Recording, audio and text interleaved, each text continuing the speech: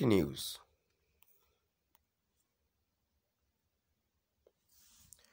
Welcome to today's headlines. Any attempt by federal government to appeal 1 billion naira damages is disrespect for judiciary. Lawyer. Any attempt by federal government to appeal 1 billion naira damages is disrespect for judiciary.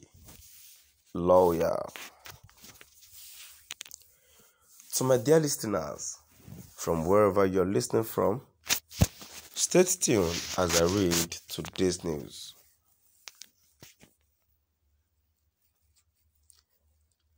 An Abuja based human rights lawyer,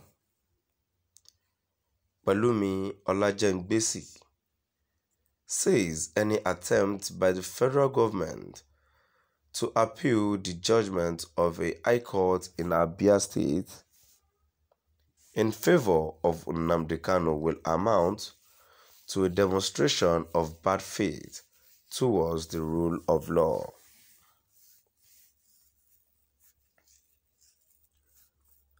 Olajengbesi made this known in a statement on Wednesday while reacting to the ruling of Justice Benson Anya ordering the federal government to pay the embattled leader of the proscribed indigenous people of Biafra 1 billion naira in damages for violating his fundamental right. Kanu had approached the court demanding 5 billion naira over the invasion of his father's house by the military on September 10, 2017.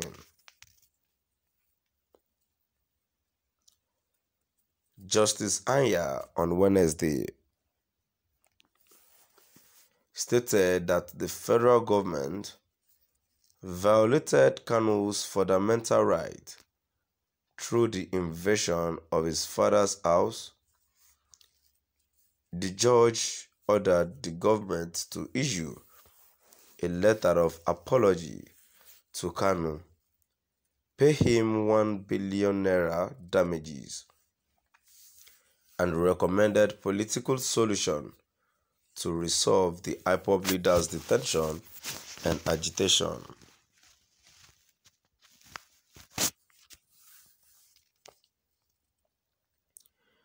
In his reaction to the development,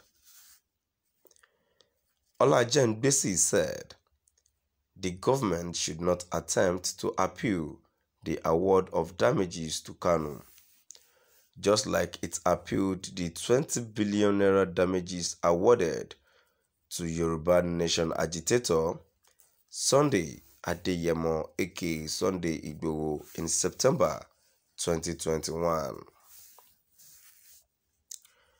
Olajengbesi, who resigned as a member of the legal team of Igboho in December 2021, said the Attorney General of the Federation and Minister of Justice, Abubakar Malami, SAN, should not make the mistake he made in September 2021 when he appealed the judgment of an Oyo State High Court, which awarded 20 billion naira in damages against the government over the July 1, 2021 invasion of Sunday Igboho's Ibadan residence.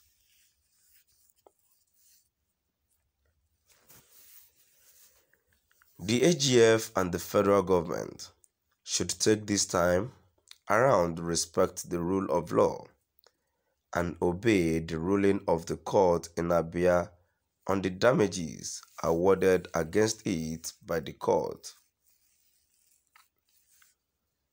The federal government should do as the court has ruled. Pay the 1 billion naira damages to Kanu and explore political solutions to resolve the agitation for secession, as well as the release of the detained IPOB leader. Anything to the contrary is to miscarriage of justice and a flagrant disrespect to the rule of law and the entire third tier of government, which is the judiciary. The president, Major General Muhammadu Buhari, retired, had during an interview on January 5, 2022, said he won't interfere in the independence of the judiciary.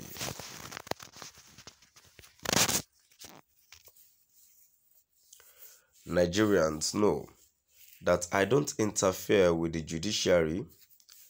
Let him be listened to. But those who are saying that he should be released, no, we cannot release him, Buhari had said. Meanwhile, Kanu appeared in court on Wednesday and pleaded not guilty to the 15 charges bordering on treasonable felony and terrorism preferred against him by the federal government. Justice Onyako subsequently adjourned the trial of Kanu till February 16, 2022. An Abuja-based human rights lawyer, Pelumi Olajengbesi says any attempt by the federal government to appeal the judgment of a high court in Abia State in favor of Nnamdi Kanu will amount to a demonstration of bad faith towards the rule of law.